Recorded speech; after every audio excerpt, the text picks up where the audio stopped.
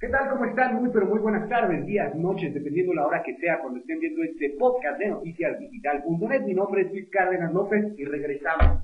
Después de más de un mes de ausencia, regresamos. No está aún esta situación como nos gustaría que estuviera, pero bueno, ya es un avance bastante considerable. Nos faltan algunas luces, nos faltan algunos detalles que estarán arreglados esta semana y eh, pues ahora sí comenzamos. Les pido una disculpa enorme. No es fácil hacer este trabajo, aunque usted crea que uno nada más se sienta, se pone a alegar y a mentar madres.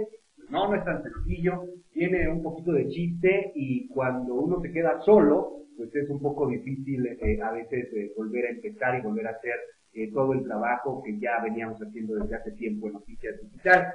El tema de hoy es el México rojo, el México bárbaro y el México inundado en la mierda y inundado en la miseria que nos está cargando a pasos agigantados, a pasos veloces, que nos está cargando al infierno. Y es que fíjese nada más, en menos de una semana, tres temas gravísimos, gravísimos. El primero de ellos, vamos a empezar. ¿Cuántos ejecutados llevamos en el año? Más de 10.000 ejecutados.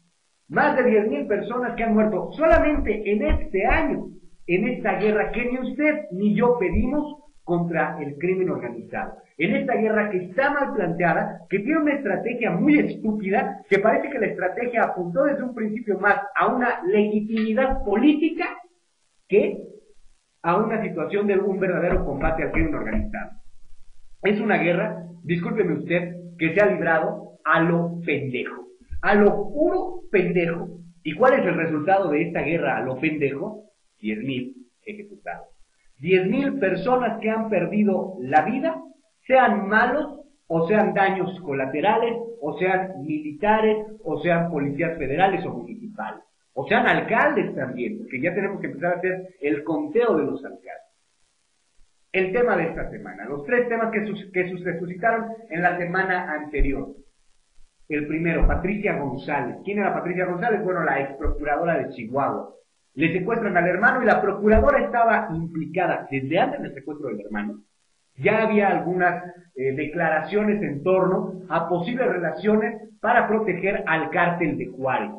¿Qué dice la procuradora? La procuradora dice, el cártel de Sinaloa tiene a mi hermano y el ejército sabe dónde está mi hermano. Y el ejército si lo supo, quizá actuó tarde, quizá no lo sabía, quizá era una cuestión de la procuradora para tratar de incriminar al ejército en alguna situación, pero lo cierto es que se encontró el cadáver de su hermano. El cadáver de su hermano que además había sido obligado a declarar en videos, en narcovideos, en estos narcovideos que son los que ya, señores, imparten la justicia y además son las principales líneas de investigación de la autoridad. Claro, cuando llega a haber líneas de investigación, porque son ineptos, ineptos, totalmente ineptos y estúpidos en las procuradurías estatales y en la federal, en la general de la República, son totalmente estúpidos e idiotas para poder llevar a cabo una investigación a tiempo y no tener que estar encontrando cadáveres.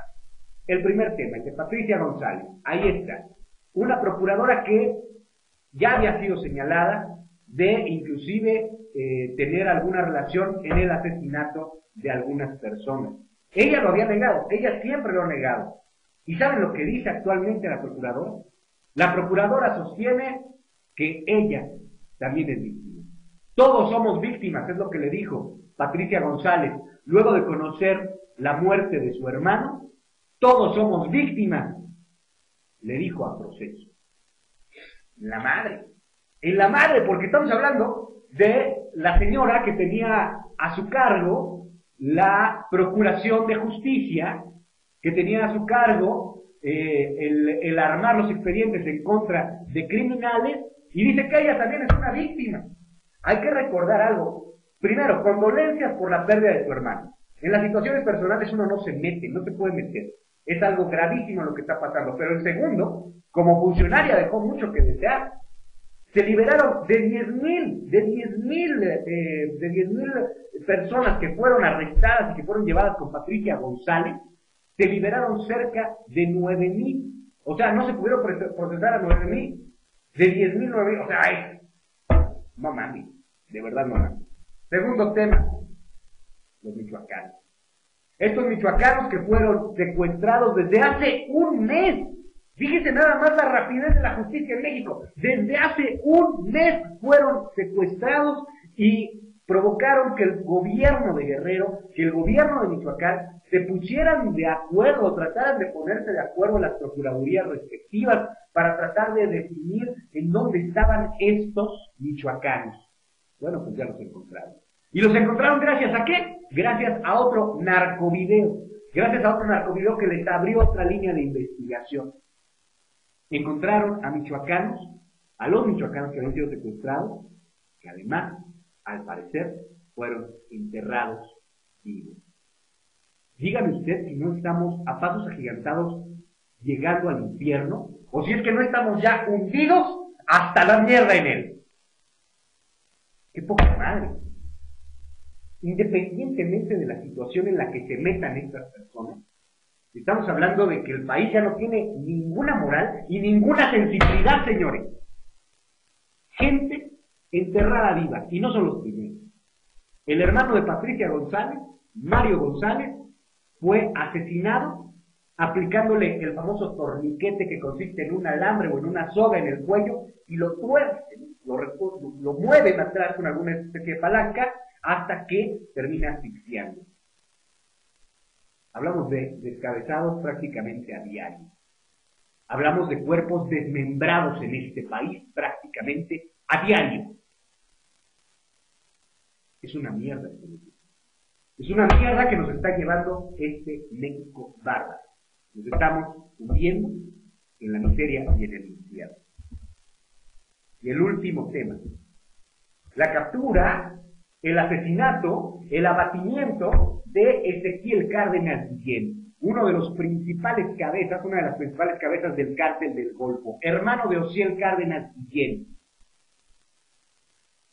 ¿Qué es lo que ha provocado? ¿Qué es lo que ha provocado esta guerra en donde a huevos quieren ganar estas planas diciendo, abatieron al capo mayor? Están provocando más sangre. ¿Ve usted cómo está Tamaulipas? Un abrazo, un abrazo solidario a los hermanos en Tamaulipas. Porque están sufriendo de una manera espeluznante la consecuencia de este asesinato, de este abatimiento, de Ezequiel Cárdenas Guillén. Sí, se tienen que capturar a los capos, pero todo esto se tiene que hacer con inteligencia. Se ha probado que en el momento de asesinar a uno de los grandes capos o a uno de los grandes líderes, a los grandes líderes de distintas mafias, el nivel de violencia sube.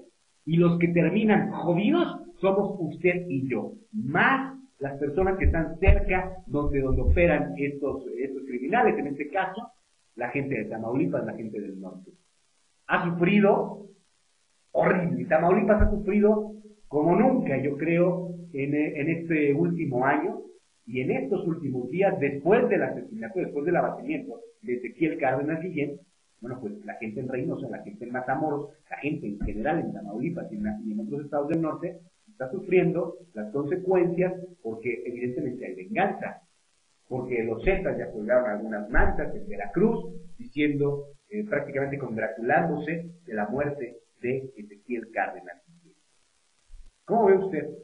Ese es el México rojo. Ese es el México bárbaro y el México de mierda en el que nos estamos, en el que nos estamos hundiendo. Aquí no se trata ni de amarillismo, aquí no se trata ni de ser pesimista, se trata de ser realista. Y esta es la situación que se está dando en este país. Nos guste o no nos guste, yo no pedí una guerra. Claro que queremos que se acabe el crimen organizado. Aunque es una mafia y aunque sería muy iluso pensar que se va a acabar, existe en todo el mundo. Hay cierto control, están bajo, detrás de ciertas líneas. Pero la estrategia que se llevó a cabo en este país es la estrategia más pendeja que se pudo haber llevado a cabo. Las iniciativas de lavado de dinero no han pasado ninguna seguimos haciéndonos pendejos. Eh, la, búsqueda de una unión con Estados Unidos, una verdadera unión con Estados Unidos para combatir al crimen organizado, para combatir el tráfico de armas, no existe. La cultura de la prevención no existe. Si Felipe Calderón hubiera dedicado todos sus esfuerzos no a agarrarse a balazos y a disfrazarse de militar, con todo respeto para los militares. Si Felipe Calderón hubiera dedicado todo el esfuerzo de su administración en empleo y en educación, quizá, quizá estaríamos viendo un poquito menos sangre.